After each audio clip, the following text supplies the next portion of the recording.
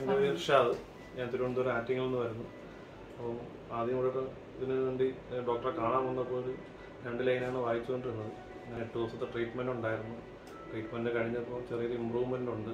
അത് നാല് വരി വരെ വായിക്കാൻ പറ്റുന്നുണ്ട്.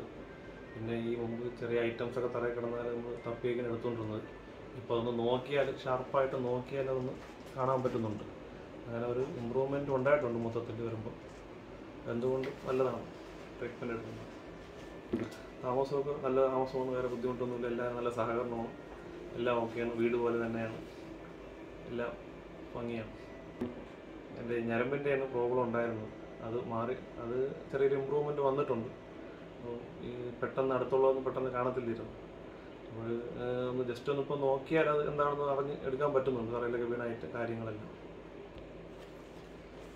ഞാനിപ്പോൾ ഒരു കമ്പനിയുടെ അക്കൗണ്ടന്റായിട്ട് വർക്ക് ചെയ്യും. അപ്പോൾ പത്ത് ദിവസത്തെ ലീവിനാണ് വന്നത്.